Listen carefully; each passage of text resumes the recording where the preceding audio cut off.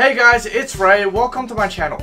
Nintendo launched the brand new Nintendo Switch Lite yesterday, which is not only the budget option of the Nintendo Switch line products, but also seen as an effective replacement of the Nintendo 2DS and 3DS XL line of products. Which raises the question, is the system worth it? Let's check it out. So before the launch of this little system, I was legit excited for it for quite a few months. In fact, I was still excited for it yesterday when I was playing on it. And last night, I played on it for around 5 to 6 hours, pulled my thoughts together, and actually reached the conclusion that I actually don't recommend you guys first time Switch buyers going out to buy this over the Nintendo Switch. And there's quite a few reasons for that.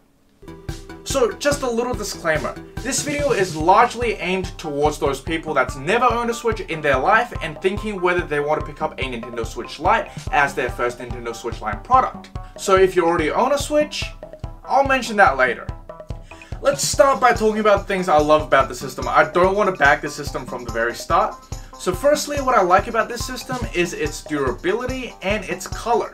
Obviously color is incredibly subjective. I do feel like it looked better than the Switch, but that's up to you guys. What's unarguable here is the durability. So because this is one whole system instead of having separate Joy-Cons, this system is going to be much more durable. If you accidentally drop it, it's either going to, well, very unfortunately break or it's going to be fine. Whereas with my Nintendo Switch I bought 3 years ago, I accidentally dropped it, the system was fine but the Joy-Con grip was quite loose, so I could often just accidentally push it and it would detach, which as time goes, got quite annoying. So with this little system, as long as they fix the analog drift so that it doesn't drift after 6 or 7 months, which god I hope they do, please fix that with the Nintendo Switch Joy-Cons as well, that's incredibly needed.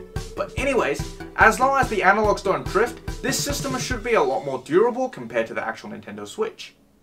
Secondly, the Nintendo Switch Lite is a much lighter console by weight. So referring to my last video, the Nintendo Switch weighs around 410 to 420 grams, whereas the Nintendo Switch Lite is around 270 grams, which is around a 33% decrease in weight. So obviously for me who's a male and an adult, it doesn't make a huge difference, but for kids or younger players, this could allow them to play on the system in portable mode more comfortably for quite a few hours.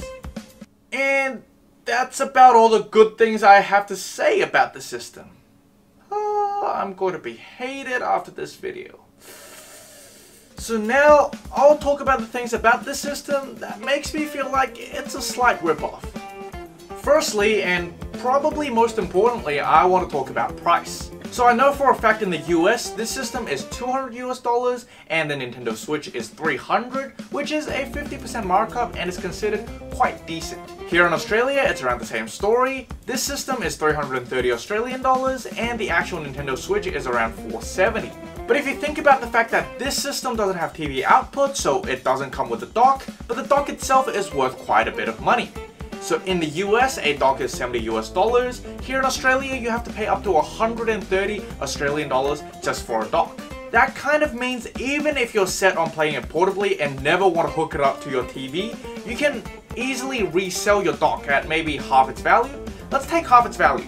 So that means realistically, in the US, you'll be spending around $265 for an upgrade to the Switch, and here in Australia, around 405 Australian dollars. Which means, by math, the real markup from the Nintendo Switch Lite to the Nintendo Switch is actually around 30%.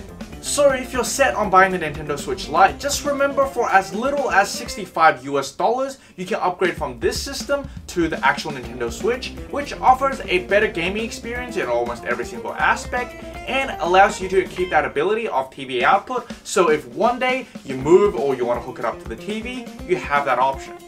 This raises the question, where exactly is the Nintendo Switch Lite worse compared to the Nintendo Switch? So first of all, the biggest major feature the Nintendo Switch Lite is missing is, well, the ability to switch. So while this system uses the same USB Type-C charging port compared to the Switch, it does not have TV output at all, which means even if you got a third-party dock, or if you already own a Switch and have a dock, it's not going to connect this system up to the TV no matter what. Secondly, the one system aspect of it is kind of like a double-edged sword. It's a good thing about it, but it hurts it in another way. So because it is one whole system, it doesn't have separate Joy-Cons, which means it would be quite a bit of hassle if you want to play two-player games. If this is your only Nintendo Switch Line product, it means you gotta go out there and spend 120 Australian dollars and buy an extra pair of Joy-Cons, which is quite a bit of hassle considering when you do that, all you're doing is playing two-player games on this tiny 5.5 inch screen.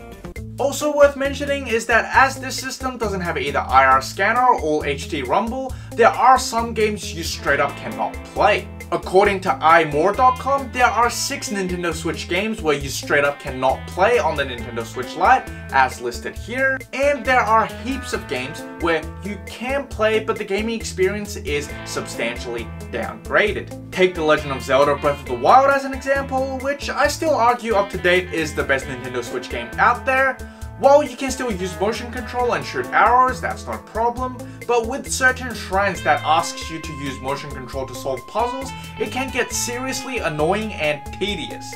Like the footage you're seeing now, with the Nintendo Switch Lite, puzzles like these are not only tedious but almost virtually impossible to do. Whereas on the Nintendo Switch, all I have to do is take off my Joy-Cons and here I go. So from that, I would argue that there is a downgrade from the Nintendo Switch to the Nintendo Switch Lite in gaming performance. Apart from the major features, there's also two other features of the Nintendo Switch Lite which I thought was at its advantage, but actually turned out kind of against it.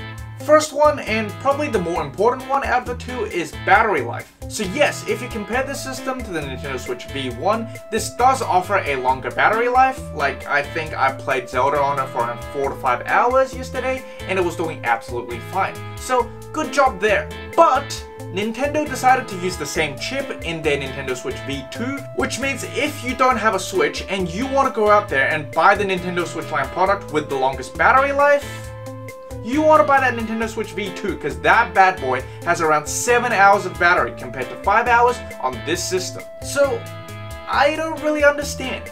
One of the major selling points of the Nintendo Switch Lite has inevitably been beaten thanks to Nintendo themselves. But I guess I can't back them, they gave us a better Nintendo Switch as well, and uh, who's gonna say no to that? Second thing is portability, which is kind of what this system was designed for, but through real life use, I actually took it out for a couple of hours last night, it's not actually hugely different compared to the Nintendo Switch. So yes, this system is quite a bit smaller, it's equivalent to a Switch without one side of the Joy-Con, but in terms of portability, uh, I'd say it's around 10% easier to carry around. Because the system is smaller, but it's not a clamshell design, so you don't just want to shove it in your pocket or in your bag without a case. So it really kind of follows the same process, where you still need to bring it, put it in a case, and then put it in your bag, because you do not want to put this system in your bag without a case. That's most likely going to destroy the analog sticks. So in terms of portability, which is also one of its major selling points, it's actually the same same. So, what exactly do I think of this product? So I think as a 3DS replacement product, it does inevitably have its own charm. So I think if you want to pick up your first Nintendo Switch Line product and you want to pick up a Nintendo Switch Lite, just be really certain on two things. Firstly, you're mainly going to be a traveling gamer and a solo gamer you're not interested in party games, two-player games, and etc, etc, etc. You just want to play Pokemon and Fire Emblem like you once did on your Nintendo 3DS or 2DS XL. Secondly, just be 100% sure that you pick this system up as a 3DS replacement product, which means you will never ever connect this to the TV, and in cases like The Legend of Zelda Breath of the Wild, you are happy to suffer from these potential downgrades in gaming experience. Honestly, from the eyes of a commerce student, I legit think Nintendo is trying to pull off some twisted version of decoy pricing. I might need to explain that term. So decoy pricing in a nutshell is essentially bring out a product that is not as worth it as the original product to make the original product look really worth it and actually encourage people to buy the original product, which in this case is the Nintendo Switch. Think about it, if you're considering buying this system and you just do the math, I'll use US currency here, you'd realize, oh, for an extra 100 US dollars, I can get TV output, I can get HD rumble, IR scanner, detachable Joy-Cons, ability to play two-player games without any extra accessories, and that all comes at only 100 bucks. Immediately, the Nintendo Switch in your head is not a $300 console. It is $100 more than the Nintendo Switch Lite, offering so much more. And then you start thinking, it's only $100 more, it comes with a dock, it comes with better battery, it comes with better gaming experience, and there will be some of you that will take out those extra $100 for the actual Switch, which Nintendo have succeeded. I also feel like they'll trick parents because Christmas is happening in less than like three months. I can see parents bringing in their 10 year old into the store and going like, Oh, you don't have Nintendo 3DSs anymore? Well, my son has been playing the 3DS for the past four years. What do I buy him now? And the sales guy would be like, Here you go. And then another sale by Nintendo. So, good job. Revisiting my point, if you are a first-time Nintendo Switch buyer, just remember I strongly recommend buying the actual Nintendo Switch. For just $100 more, okay, $100 is quite a lot of money in this context, for just, for just, can't get over that.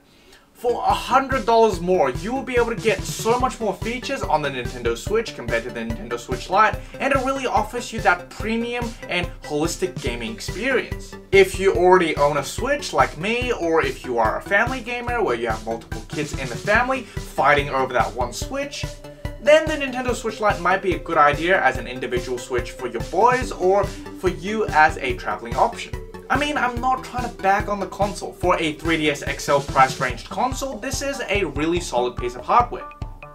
Wait, actually, this system is actually cheaper because the 3DS XL also comes in at 200 US dollars, but it does not come with a charger. And this system comes at 200 US dollars and comes with everything. Wow. I mean, it doesn't change the argument, but that's impressive.